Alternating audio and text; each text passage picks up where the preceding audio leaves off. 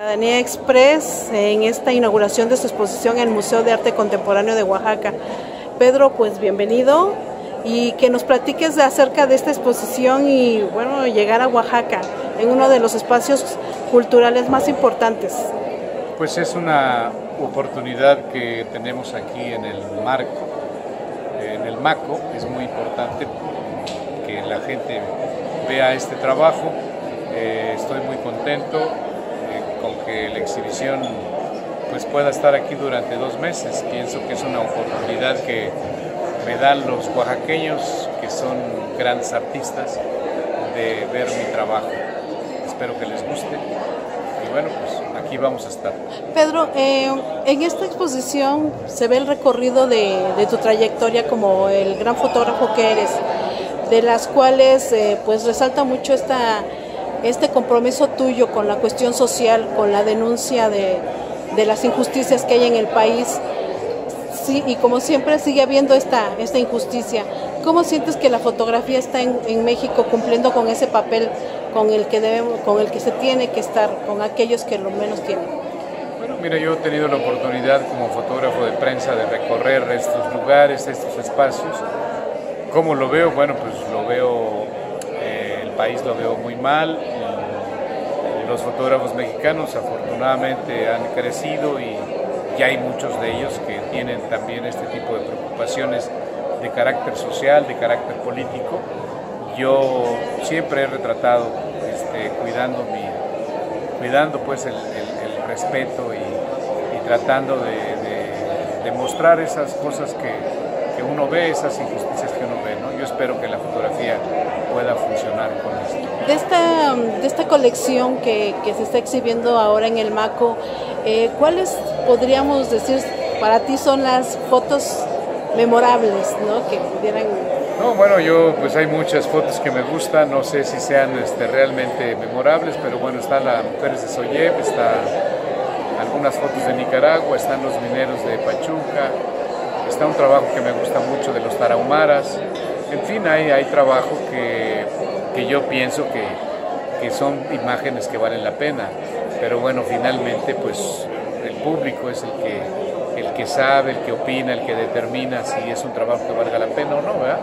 Claro. Yo pienso que hago mi esfuerzo y con la idea de que el trabajo pueda servir, pueda contribuir a, a, a transmitir lo que pasa, ¿no?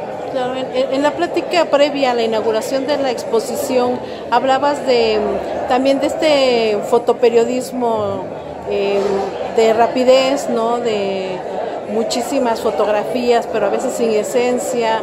Eh, ¿cómo, ¿Cuál sería la, digamos, el llamado que harías, por decirlo así, a estos jóvenes que empiezan con la, la cuestión de la fotografía para que eviten caer en estos vicios del clic clic y no, no bueno, del fondo. Mi sugerencia es que procuren observar más, ver más, detenerse un poquito. Eh, es muy importante la lectura, es muy importante saber lo que está pasando eh, y tener mucho cuidado, que no nos controle las ganas de hacer fotos sin sentido, ¿no? Tener un poco de cuidado. Yo sé que por la facilidad pues, se dispara mucho, pero no, no, no es recomendable, ¿no? En Oaxaca ha surgido esta, esta iniciativa desde, desde los fotógrafos como Fotowax. ¿Qué te parece este tipo de, de proyectos para la promoción de la fotografía? Pues son importantes, son necesarios y me da mucho gusto que eh, tanto Victorio como los organizadores de la Secretaría de Cultura me hayan invitado a mostrar mi trabajo y es muy importante, sobre todo aquí en Oaxaca, que estos eventos se realicen con pues, con cierta periodicidad. Ustedes aquí afortunadamente tienen muchos promotores de, la, de la, cultura, entre ellos el maestro Toledo, ¿no? que, que tiene ahí un centro de fotografía muy importante. Hay una enorme sensibilidad, ¿no? yo creo que soy el menos indicado para hablar de la capacidad creativa de los oaxaqueños, una capacidad milenaria, entonces pues eh, yo pienso que este tipo de actividades de la fotografía contribuyen de alguna manera a enriquecer la riqueza cultural de Oaxaca. Por último, Pedro, ¿cuáles son las preocupaciones tuyas en este México de hoy?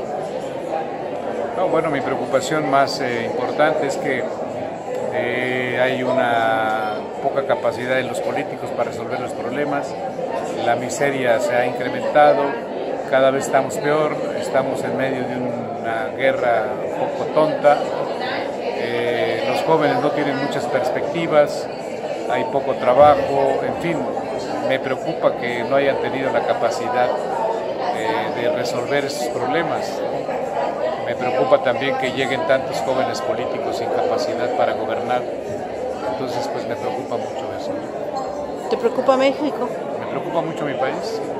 Este, siempre me ha preocupado y yo pienso que, tenemos que trabajar más para, para poder salir adelante.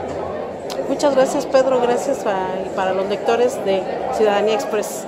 Muchas gracias.